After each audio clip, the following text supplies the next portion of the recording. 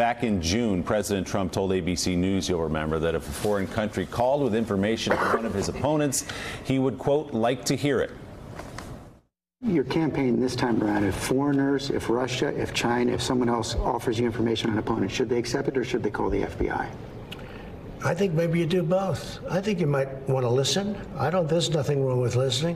If somebody called from a country, Norway, we have information on your opponent.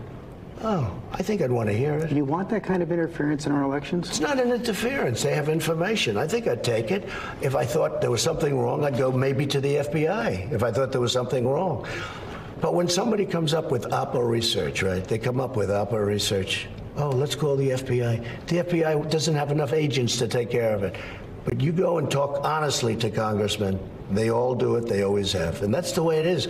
It's called Oppo research. No, it's not. Those comments caught the attention of Federal Election Commission Chair Ellen Weintraub, who tweeted a statement on the illegality of campaigns accepting foreign assistance along with a caption, I would not have thought that I needed to say this. Then yesterday, the president called on a foreign country, namely China, to go along with Ukraine before that to investigate his political rivals. Mr. President, President, what exactly did you hope Zelensky would do about the Bidens after your phone call? Exactly. Well, I would think that if they were honest about it, they'd start a major investigation into the Bidens. It's a very simple answer.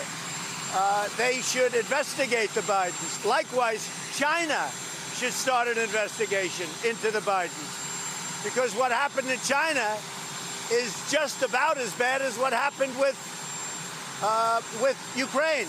Shortly after the president made those comments, Weintraub retweeted her statement from June, along with an image of a microphone and the caption, Is this thing on? FEC Chairwoman Ellen Weintraub joins us now. Chairwoman, appreciate you being here today. I know you don't want to get into the politics of all this, so let me ask you about the law. Could you restate what the FEC says about seeking the assistance of a foreign nation in a political campaign? Well, the law is pretty clear, Willie. It is absolutely illegal for anyone to solicit, accept, or receive anything of value from a foreign national in connection with any election in the United States. So, Ellen, then what is the thing of value? Because this is the gray area where the White House and President Trump is playing. He's just saying, we're looking into corruption in Ukraine, for example. Is there a thing of value there? Well, I don't want to comment on the specifics. I'm just here to explain the law. That's part of my job, and I think that this is a moment in America where it's really important that the American people understand what the law is.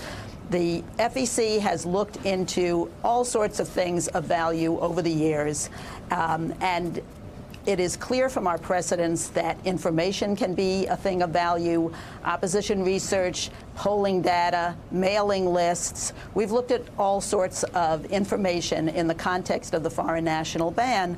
Sometimes information can be difficult to value, not just information. Other uh, kinds of things can be difficult to value. It can be hard to ascertain, but that doesn't mean that it doesn't have value. So just I want to underline that information and opposition research can be a thing of value and therefore in violation of the law.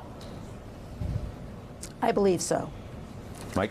So, Ellen, even as limited as we are, we Speak understand, for yourself. we understand the law as you just explained it. What I want to know, I think what people want to know is what is the penalty for what Donald Trump has is doing? What's the penalty? Well, penalties vary. Um, if the FEC were to consider a complaint, and again, I don't want to talk about the specifics of any particular fact pattern, but the FEC has civil enforcement authority over the Federal Election Campaign Act, which includes the foreign national ban. The Justice Department has criminal enforcement authority. When the FEC looks at a complaint, it often will assess a monetary penalty at the end of, the, of an investigation. And it's, it's very hard to say at the beginning uh, or in the abstract of what that penalty might be. We've assessed penalties from uh, a few hundred dollars to millions of dollars. If, if Donald Trump took a million dollars from a foreign government, you'd say, okay, that's a pretty black and white thing of, government, of value. If you gave Donald Trump the choice, would you rather have a million dollars for your campaign from the Ukraine or dirt that's going to bring down your number one opponent, he would certainly choose the latter, which shows it even has more value than money. So I don't think anybody can question there's value attached to it. FEC Chairwoman Ellen Weintraub, thank you as always for your perspective on all this. We appreciate it. Good to see you. Thank you. Uh, Thanks for checking out MSNBC on YouTube and make sure you subscribe to stay up to date on the day's biggest stories. And you can click on any of the videos around us to watch more from Morning Joe and MSNBC. Thanks so much for watching.